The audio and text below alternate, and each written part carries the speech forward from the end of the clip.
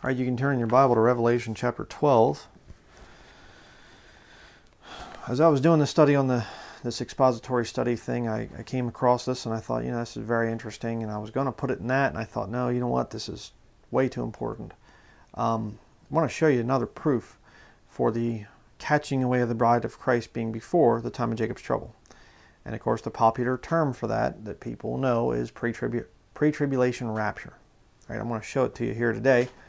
Um, I'm going to show you that, in fact, just to give you a little brief synopsis of where we're going to be going with this, and don't start posting a stupid comment down there. You know, watch the whole thing, look at the scriptures, turn your Bible and read the scriptures to make sure I'm telling you the truth.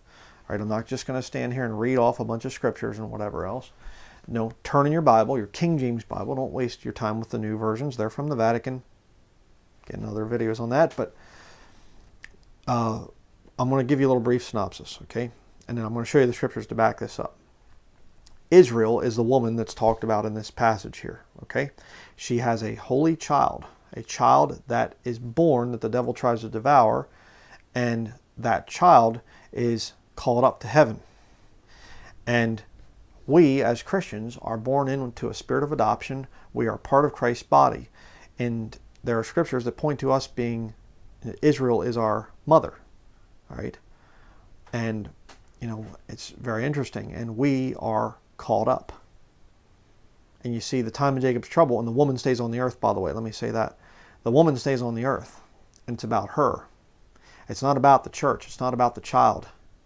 All right? The child of the woman goes up, called up to heaven. And the devil persecutes the woman, Israel. All right? There's a lot of scriptures we're going to be going over today to prove this thing. But just want to give you that to chew on.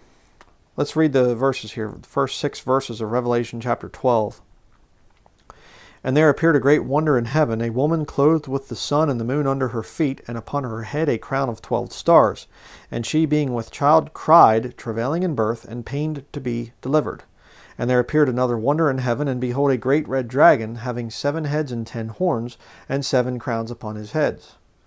And his tail drew the third part of the stars of heaven, and did cast them to the earth. And the dragon stood before the woman, which was ready to be delivered, for to devour her child as soon as it was born. And she brought forth a man child, who was to rule all nations with a rod of iron. And her child was caught up unto God, and to his throne. And the woman fled into the wilderness, where she hath a place prepared of God, that they should feed her there a thousand two hundred and threescore days. Okay? Now let's go back through it. Right, we're going to go back through and cover these scriptures in, in much greater detail. Now, the expository study, it's coming up. I'm going to get into some more of the stuff here, but this argument right here that this thing proves the rapture, I thought I better do a separate video on this. But verse 1, we'll cover more on this when we do the other study. This woman there, there's only three possibilities of who this is. Okay, number one, you would have Mary. If you look up Mary, Queen of Heaven, do a Google image search, you're going to see this woman in the blue and the white gown, you know, and she's standing there, and sometimes she'll have a little child with her, and she's got the crescent moon underneath her feet, and she's got 12 stars around her head. All right, um, which is really ridiculous because if you study the Queen of Heaven term back in the book of Jeremiah, we're going to look at this in the other study, but back in the book of Jeremiah, the Queen of Heaven is a pagan goddess that the Jews are getting in trouble for worshiping.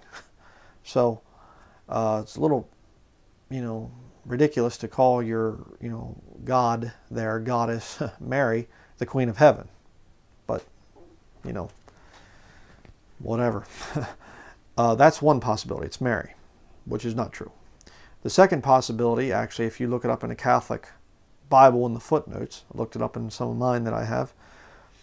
The second possibility is that it's Israel which is what the Bible teaches that it is Israel. We'll see that as we continue.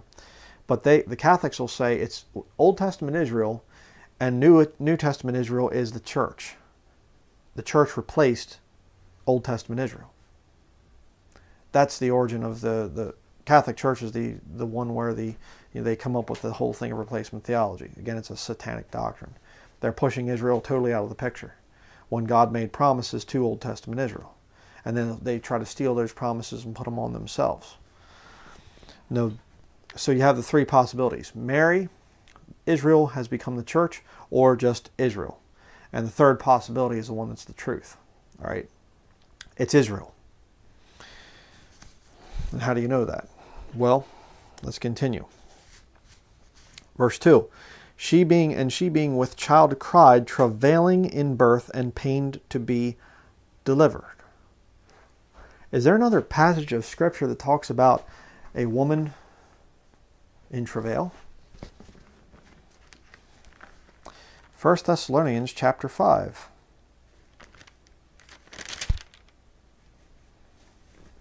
Beginning in verse 1.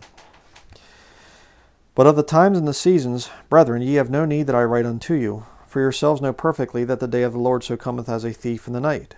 For when they shall say, notice he switches.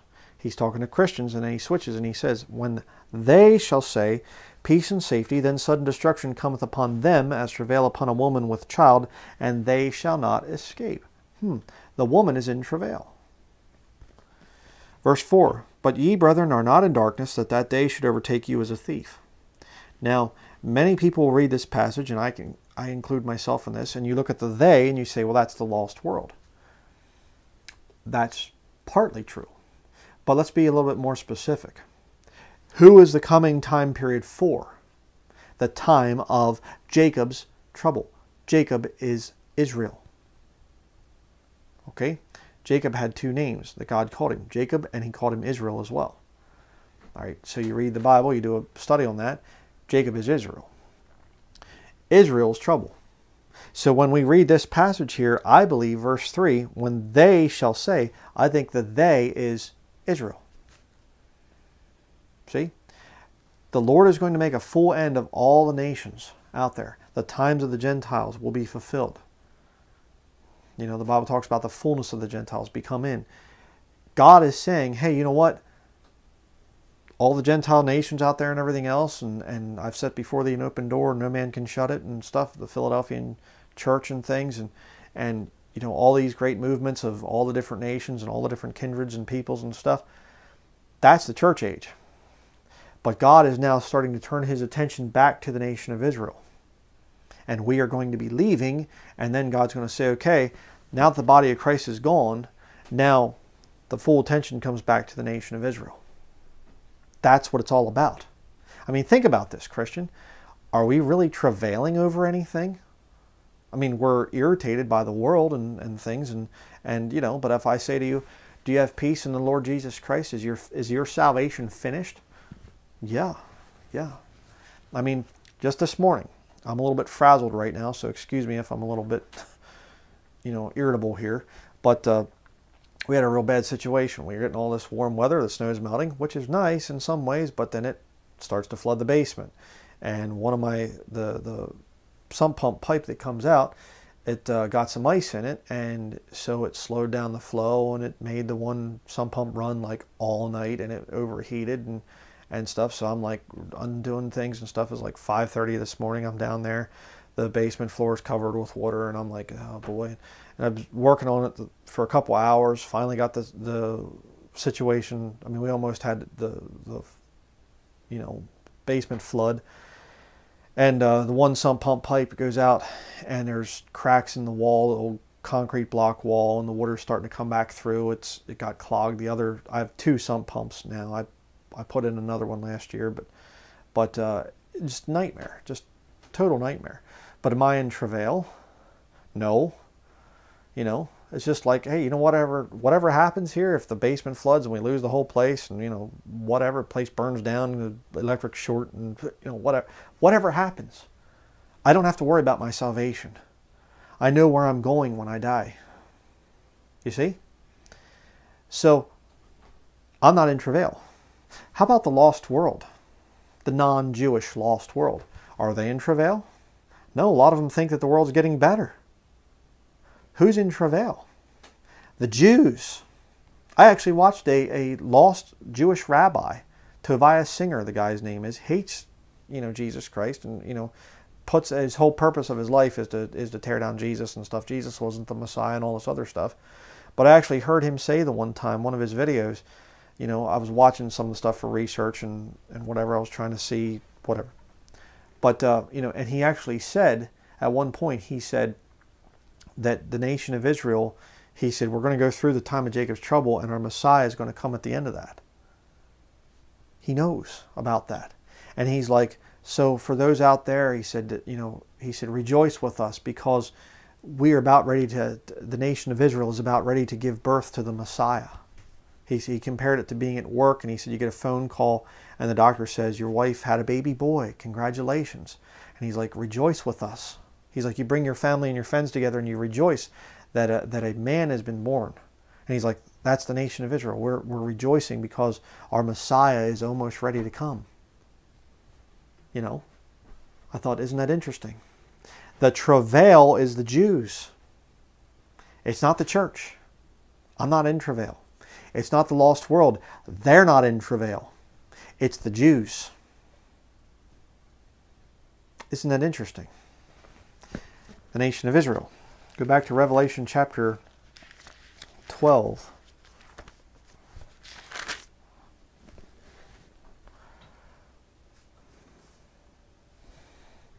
Revelation chapter 12. We're going to see this, this woman and this child thing are very interesting. Verse 3 And there appeared another wonder in heaven, having and behold a great red dragon, having seven heads and ten horns and seven crowns upon his heads. Okay, now another little interesting side note there. Uh, you have the seven there. And isn't it interesting that this time it's the red dragon? It's Satan. Read about that, this red dragon, down in uh, verse 9. And the great dragon was cast out, that old serpent called the devil and Satan. Okay? So this red dragon is Satan, and yet he has there seven heads and seven crowns. Hmm. Very, very interesting. Uh, if you know anything about the character of the devil in the Bible, he counterfeits the Lord God all the time. And we've been reading the book of Revelation. It's seven spirits of God, seven this, seven that. Seven is God's number. And yet the devil comes along and he counterfeits that. And if you read over in 2 Corinthians chapter 11, verses 13 through 15, it talks about Satan appears as an angel of light. All right, and his ministers appear as the ministers of righteousness. So be careful who you're listening to. Church preachers, you know, and things like this. Ministers of righteousness. They're ministers of Satan in reality. Be very careful. That's why you need a Bible right? And if you go to some uh, church or whatever else, some gathering of Christians, and they're not encouraging you to, look up things in the King James Bible, uh, you'd better run away from that place. Okay? And if they're telling you to do things and things like that that are not found in the pages of Scripture, you better be real careful listening to them. Okay? Better think about that. Let's go to verse 4. Revelation chapter 12, verse 4 and his tail drew the third part of the stars of heaven and did cast them to the earth. Okay, stop there. What are the stars? I mean, does the devil just, you know, again, think think of the lunacy of, of how most people think in this world. The devil takes his tail and he goes out and he gets a third part of the of the burning gaseous balls out there and you know that they call stars that NASA would call stars burning gaseous uh, balls of goo you know, and they're out there, you know, light years, millions of light years away, and, and the devil takes his tail and gets them. And then he casts them to the earth. Did cast them to the earth there, verse 4. And the point of that would be what? Okay, it would burn up the earth, wouldn't it? If they're gaseous, burning little goo balls out there in the in, you know, outer space. Uh, they're not gaseous balls of goo. Okay, like NASA would have you believe. They're lying to you. I mean, some some dude sitting in a in a you know research laboratory, he's got a telescope and he's looking out there and he's like, that star is so far away, but I know exactly what the composition of it is. I can tell you what it's made out of. Can't tell you anything of the kind. All right. What is it? What are the stars there? Verse 9, Revelation 12, verse 9. Go down there. He was cast out into the earth, and his angels were cast out with him. The stars are angels. All right? Important to remember that. Back up to verse 4. And the dragon stood before the woman which was ready to be delivered, for to devour her child as soon as it was born. What happened when Jesus was born? I mean, this is the passage here, the woman there is talking about Israel. Okay? The child. When he was born, what happened? King Herod passed a decree that all the young boys should be killed. Why? Because Satan was there trying to devour the Lord Jesus Christ.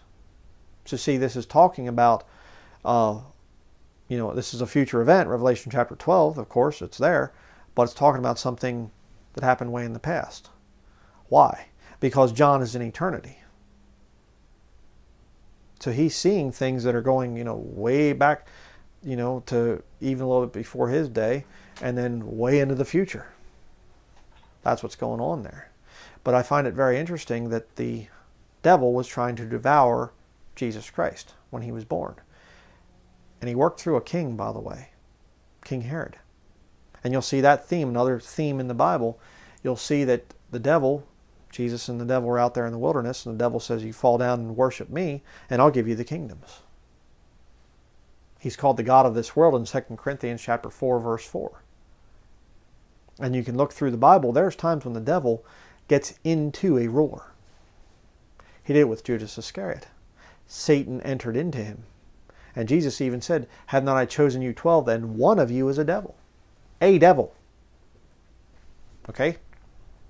So, and you say, explain all that stuff to me. You know, show me. I can't explain a lot of things in the Bible. I believe it, but I can't explain it. All right? The just shall live by faith. See how that thing works? I believe you say, could you give me a modern day example? I believe a lot of the popes are walking uh, little, uh, how would you even say it? Um, automobiles for the pope or for the for the devil. Excuse me. You know, in other words, the devil can just get in there and he can just tell them what to do. You know, and I mean this Pope Francis, I've seen a couple times. You know, that he'll be someplace and all of a sudden he just like goes into this trance. He just sit there. I understand he's a Jesuit. You know, they do the whole contemplation thing and whatever.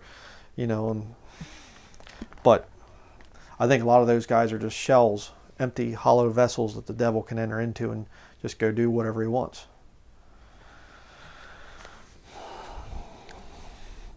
But and I, you know why I'm saying that is because I believe that the devil entered into King Herod and had him go out and kill, you know, pass this decree to have all the little boys killed there in Israel. But I want to show you another little interesting tie-in here. You say, but how does this relate to the body of Christ? Because I mean we are part of his body. We'll get into that here in just a little bit. 1 Peter chapter 5.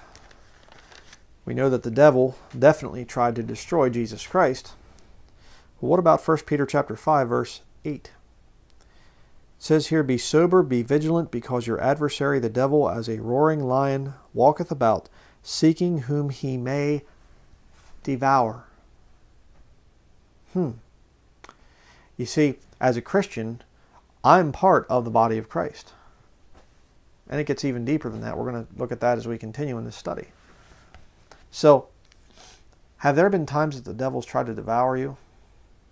Tried to wreck your faith? Mm-hmm. And again, as you get older as a Christian, you you start to go through some things and whatever else, you're going to realize that uh, a lot of what Jesus experienced in the in the Gospels there and things, uh, you're going to experience a lot of that stuff too. You're going to have friends that are Christians, kind of like disciples, and you're going to have the beloved disciple John. You're going to have the disciple that uh, is loudmouthed and obnoxious and, and basically misrepresents you a lot of times, and you have to correct them lovingly, like Peter. And you're going to have your Judas Iscariot that you're going to think that they're your best friend and they're going to stab you in the back. Believe you me. All right? You will relate to Jesus Christ as a Christian. But let's look at verse 5. So the devil tries to devour Jesus Christ when he's born, and he also will try to devour you when you are born again. You will experience it. Revelation chapter 12, verse 5. Here's where it starts to get very interesting. And she brought forth a man child who was to rule all nations with a rod of iron. Stop there. What's this a reference to? Well, go back to the Old Testament, to the book of Psalms.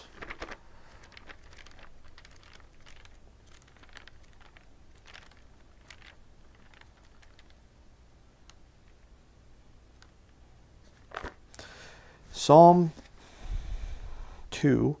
I always am tempted to say chapter, but there are no chapters in the book of Psalms. They are psalms. So, Psalm 2, beginning in verse 1. Why do the heathen rage and the people imagine a vain thing? The kings of the earth set themselves, and the rulers take counsel together against the Lord and against his anointed, saying, Let us break their bands asunder and cast away their cords from us. He that sitteth in the heavens shall laugh. Remember that. Okay? The Lord shall have them in derision. Then shall he speak unto them in his wrath and vex them in his sore displeasure. These little people out there, the Jesuits and the Black Pope and the, the Illuminati and the CFR and the whatever, they're losers. Okay? The Lord's actually laughing at them. Verse 6 Yet have I set my king upon my holy hill of Zion. I will declare the decree. The Lord hath said unto me, Thou art my son, this day have I begotten thee. Did David, was David begotten of the Lord? No, no. Who is begotten of the Lord? Jesus. John chapter 3, verse 16. For God so loved the world that he gave his only begotten Son. Begotten. When you're created, you're not begotten. All right? Important to remember that. Verse 8 Ask of me, and I shall give thee the inherit of the, the heathen for thine inheritance, and the uttermost parts of the earth for thy possession. Thou shalt break them with a rod of iron, thou shalt dash them in pieces like a potter's vessel. Be wise now, therefore, O ye kings, be instructed, ye judges of the earth. Serve the Lord with fear, and rejoice with trembling. We all have to remember that. Kiss the Son, lest he be angry, and ye perish from the way, when his wrath is kindled but a little. Blessed are all they that put their trust in him. Have you put your trust in Jesus Christ? Okay, then you get a blessing. And you have a relationship with the God of heaven. You are part of his body. If you want to talk about eternal security, that's some pretty good eternal security there when you're bone of his bones and flesh of his flesh. All right, pretty good eternal security. But don't forget verse 11. Serve the Lord with fear and rejoice with trembling. You know, I've had the times, and this morning was one of them, where things are going wrong, and I start to kind of get those thoughts coming into my head where I'm foolishly charging the Lord. Like, God, don't you know what you're doing here? Why is this happening? And so, man, shut your mouth. Shut your mouth. You know, you got to think about this stuff as a Christian. God knows everything. We are His children. That's true. He is our Father. Praise the Lord. But He's also a King. He is the God of the universe and you serve him with reverence and fear. Don't forget that.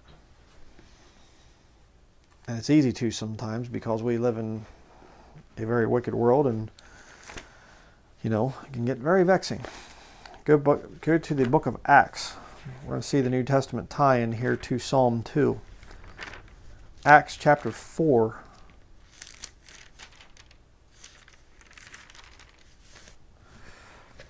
Acts chapter 4, verse 23. Okay, it says here, And being let go, they went to their own company, and reported all that the chief priests and elders had said unto them. And when they heard that, they lifted up their voice to God with one accord, and said, Lord, thou art God, which hast made heaven and earth and the sea and all that in them is, who by the mouth of thy servant David hast said, why did the heathen rage and the people imagine vain things? The kings of the earth stood up, and the rulers were gathered together against the Lord and against his Christ. For of a truth, against thy holy child Jesus, hmm, whom thou hast anointed, both Herod and Pontius Pilate, with the Gentiles and all and the people of Israel, were gathered together, for to do whatsoever thy hand and thy counsel determined before to be done. And now, Lord, behold their threatenings, and grant unto thy servants that with all boldness they may speak thy word by stretching forth thine hand to heal, and that signs and wonders may be done by the name of thy holy child. Jesus. These are Jews, saved Jews early on. This is before, you know, the gospel's really going to the Gentiles. Again, Acts is a transition book. You always have to remember that. So don't go, you know, watch out for people that are trying to take you back to Acts chapter 2 for salvation. All right? Be very careful about that. But you see this thing there, they're referring back to what's going on in Psalm 2. And they call Jesus the Holy Child. Thou art my son, this day have I begotten thee. Hmm. You say, well, how does that relate to us? I mean, we're bone of his bone, flesh of his flesh. I understand that, which is we're going to be looking at those verses just in case you're not aware of this. Because I always have to remember that there are new Christians that come along and you might not know this. Galatians chapter, what do we have? 4. Galatians chapter 4. The book of Galatians. And again, if you're new, you know, I know I go kind of fast and things, but just pause it and look up the scriptures. You know, you need, that's, uh, I try to stress this fairly frequently. You need to look up the scriptures from a King James Bible. Read them. Okay? Faith cometh by hearing, hearing by the word of God. Right? Sanctify them through thy truth. Thy word is truth. Okay? Um, John 17, 17. There was the second one. The first one's in Romans. But the point is, you have to look this stuff up. Being a Bible believing Christian means that you're believing not always what you're hearing, but what you're seeing. Okay? Reading in the scriptures. But check this out Galatians chapter 4, verse 26. But Jerusalem, which is above, is free, which is the mother of us all. Jerusalem is the capital city of what country? Israel. For it is written, Rejoice, thou barren that bearest not, break forth and cry, thou that travailest not, for the desolate hath many more children than she which hath an husband. Now we, brethren, as Isaac was, are the children of promise. That's why I get very, very irritated when I see these people and they, they just I'm a Christian, I'm a Bible believing Christian, you know, and but I hate Israel, this modern day nation of Israel. Uh, you want to look at a quick test to see if somebody's really saved or not? What's their attitude about Israel? Israel is wicked as a nation, so is America. but Israel, there's some wickedness there. The Jewish people have rejected Jesus as their Messiah. I understand all that stuff. I'm not saying that all people in Israel are saved. I'm not saying that. A very you know, small number are saved over there. A lot of them are wicked. That's the whole reason for the time of Jacob's trouble. Again, you know, yeah. But uh, a Christian that's truly saved is going to understand I am an adopted child into that family there that is Israel. I have a very special relationship to that nation of Israel. She's my mother, spiritually speaking. Why on earth would I hate her? Why on earth would I look at the nation of Israel and look over there and see these people that are there, the Jews that are there, fulfilling the prophecies that are not only Old Testament but New Testament prophecies of the rebirth of the nation of Israel? And why would I look at those people and hate them? It's unnatural. It's strange. Very, very weird. But I want to show you the verse that talks about the scriptures that talk about us being part of Christ's body. If you are not aware of these, Ephesians chapter 5, verse 28.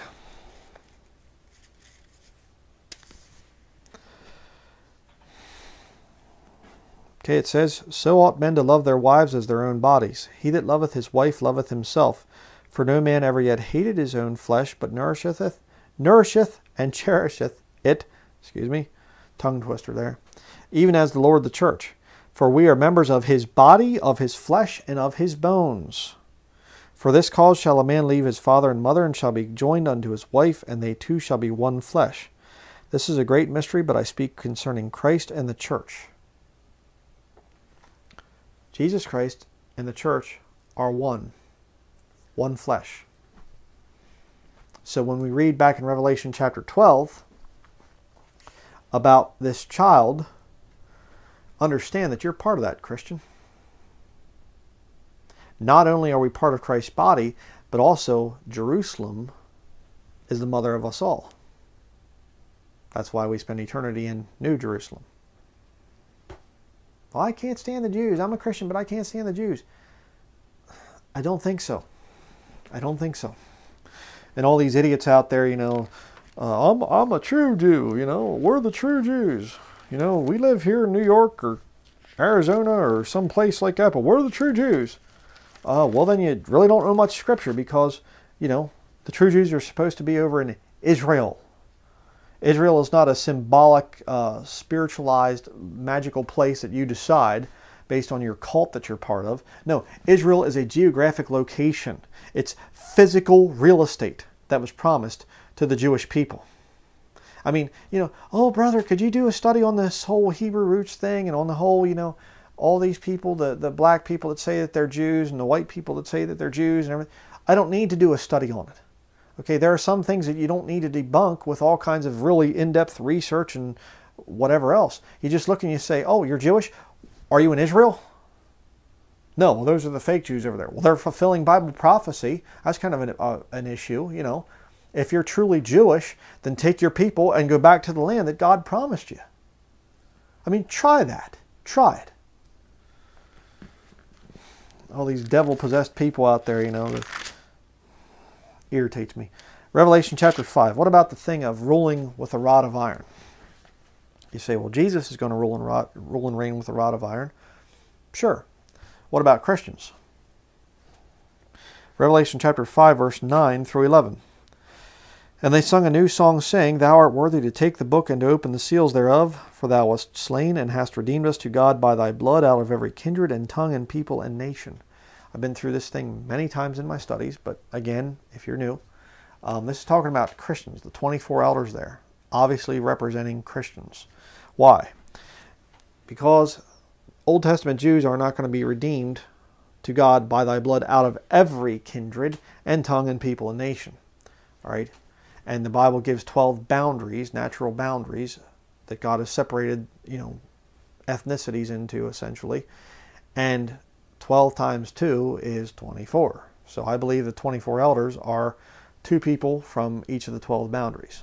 That would line up with why they're saying that they've been redeemed to God out of every tongue, people, nation, out of every kindred, tongue, people, nation. Okay? What I believe. It's not the 12 apostles and then 12 you know, patriarchs and things. No, it can't be. They're all Jews. See? Verse 10 And hast made us unto our God kings and priests, and we shall reign on the earth. Jesus Christ is the King of kings and Lord of lords. Absolutely. But if you're a Christian and you suffer, you're going to rule and reign with Christ. He rules and reigns with the rod of iron, but we're there to enforce the laws that he decides on. No more voting. Praise the Lord. Verse 11 And I beheld, and I heard the voice of many angels round about the throne and the beasts and the elders, and the number of them was 10,000 times 10,000 and thousands of thousands. Okay? Again, covered before. I believe these angels there are Christians. Okay? In the resurrection, we are as the angels of God in heaven. So, let's go back to Revelation, or yeah, Revelation chapter 12, verse 5.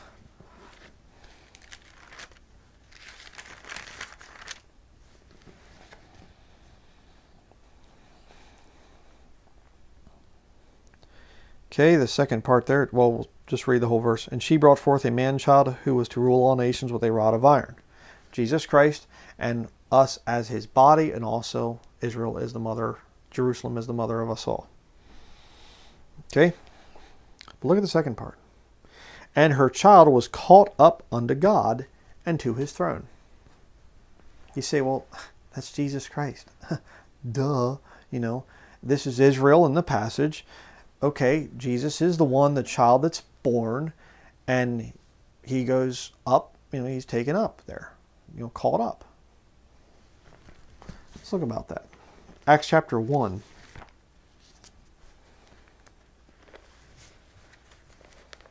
We're going to see about the passage where Jesus is taken up. Kind of giving it away a little bit here. The Bible doesn't say that Jesus was caught up. It says he was taken up. And I believe for a very specific reason, which we will be talking about. Acts chapter 1, verse 9.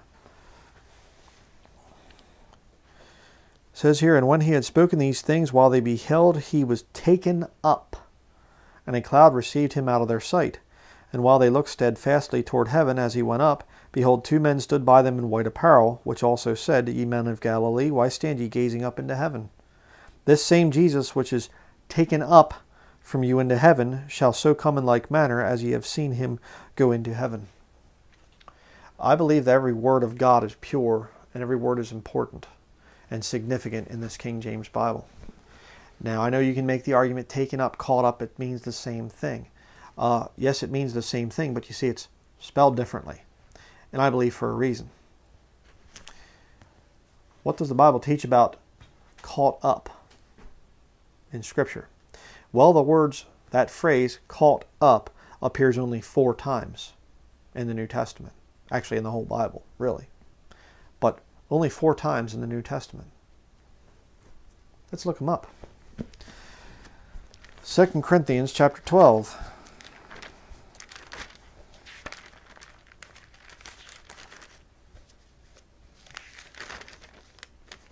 Second Corinthians chapter 12 verse 1 It is not expedient for me doubtless to glory I will come to visions and revelations of the Lord I knew a man in Christ above 14 years ago whether in the body I cannot tell, or whether out of the body I cannot tell, God knoweth.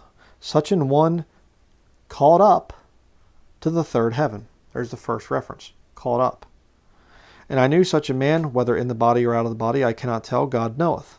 How that he was caught up into paradise and heard unspeakable words which it is not lawful for such a law excuse me, not which it is not lawful for a man to utter.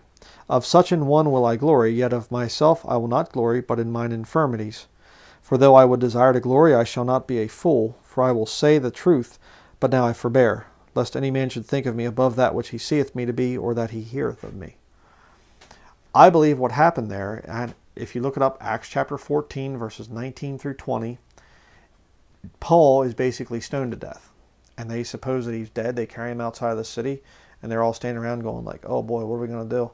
And Paul stands back up, comes back to life, and he walks back into the city to preach.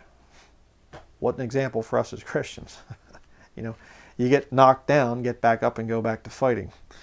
Um, words to live by for sure. But uh, I believe while he was dead there, I believe that he was actually, his soul went up to heaven. And he sees things. And that's why he's saying, I, whether in the body or out of the body, I, I don't know. I, I didn't really understand that part of it but he saw heaven. And he's saying, I'll glory, I'll glory in that up there, what I experienced up there.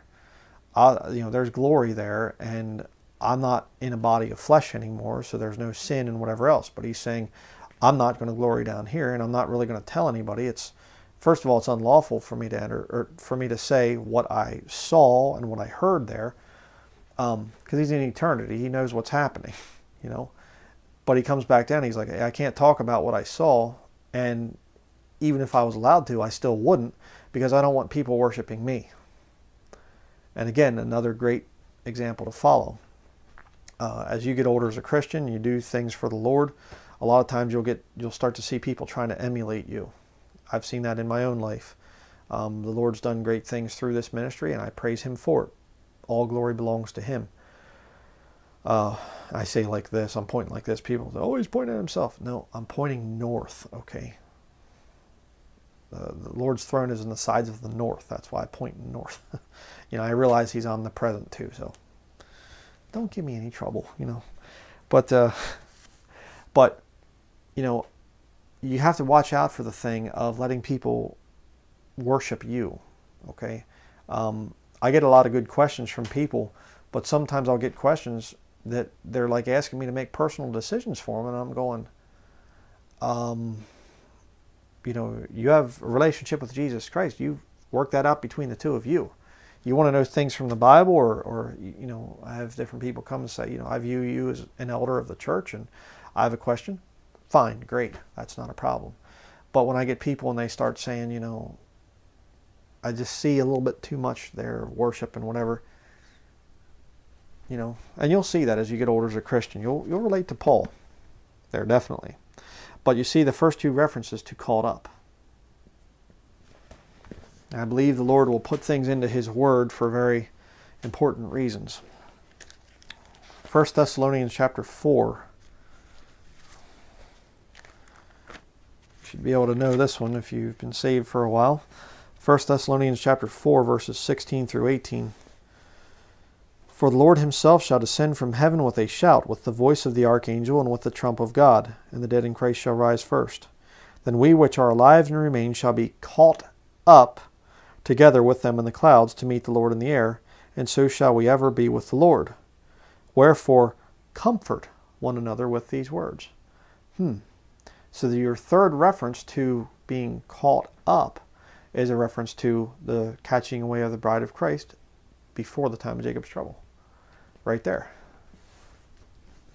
Interesting.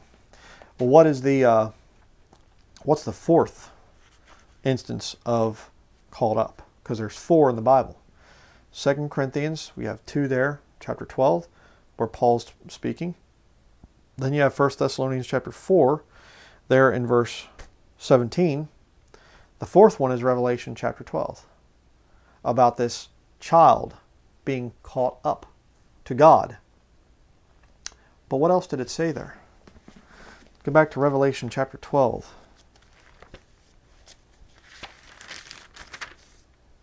Revelation chapter 12, verse 5 her child was caught up unto God. Remember, her, who's the her? Israel. Jerusalem is the mother of us all. We're born in with a spirit of adoption. Who's our adopted mother? Israel. Don't talk badly about your mama, okay? Her child, Christians, was caught up unto God we saw Jesus, it says taken up, we are caught up as Christians. And I thought it was kind of interesting too. We, you know, I was talking about this with my wife, and I said, you know, it's kind of interesting. Like Paul, he's dead, and he goes up. He's whether in the body or out of the body, I cannot tell. God knoweth. He's dead. He represents a living saint, absent from the body, present with the Lord. See, he's a dead saint in Christ, up there. What about John? He goes up. But notice the rest of verse 5. We're going to get back to John in just a minute here. Notice the rest of verse 5. Her child was called up unto God and to his throne. Where in Acts chapter 1 does it say anything about Jesus going up to God's throne? It doesn't. Is there somebody that did get caught up and uh, they saw a throne? turn to Revelation chapter 4, verse 1.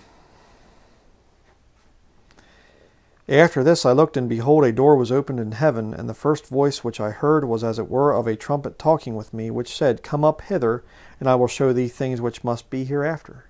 Almost like he was uh, called up. Verse 2 And immediately I was in the Spirit. And behold, a throne was set in heaven, and one sat on the throne. Her child was caught up to God and to his throne. What's it talking about?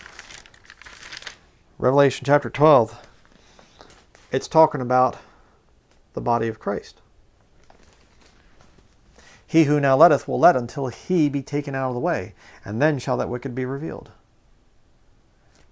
We are hindering the Antichrist. We are letting the Antichrist. Letting, you know, he who letteth will let until he be taken out of the way. Let in your King James Bible means hinder, to stop. The body of Christ is stopping the Antichrist from showing up. Why? Because we are God's child. Do you see it? What happens to that woman? There in Revelation chapter 12. What happens to her? Verse 6 And the woman fled into the wilderness, where she hath a place prepared of God, that they should feed her there a thousand two hundred and threescore days. The woman stays on the earth. You see, that woman is in travail.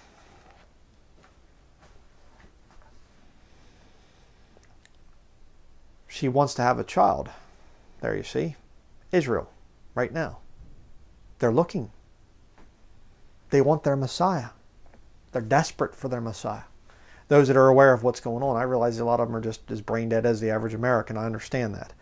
But, you know, the ones that are aware are going, okay, we are like totally encircled here. There's missiles being fired at us, and there's, you know, it's dangerous to walk down the streets, and Palestinians trying to kill us, and all this other stuff. They want their Messiah. They're in travail, you see. And that child was born nearly 2,000 years ago. He was taken up to God, but his body is still on the earth. You're looking at part of it. I'm a Christian. I'm part of the body of Christ.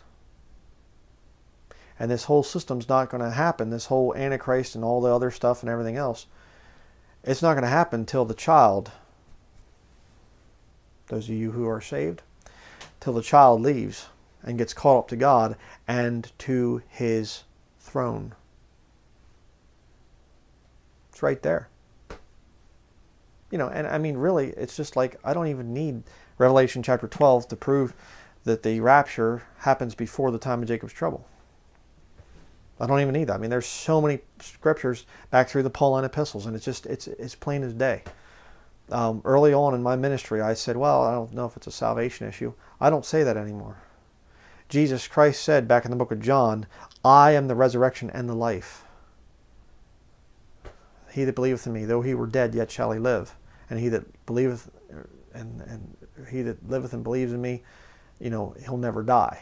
I'm paraphrasing there. I'm not going to turn to it right now. Jesus is the rapture. See, I reject it. Then you're rejecting Jesus Christ. It's just as simple as that. I mean, it's just, there's just so many scriptures to prove this thing. If you're saved, you're leaving. okay? We are part of Christ's body. We're not going into the time of Jacob's trouble. I don't have to be in travail. Israel is in travail.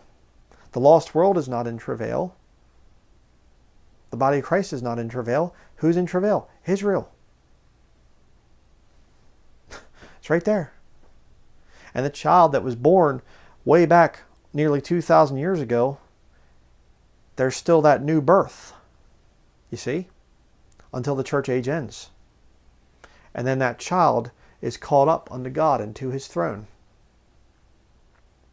And that child comes back down as the Messiah and the body of Christ with him. And we rule and reign with Jesus Christ.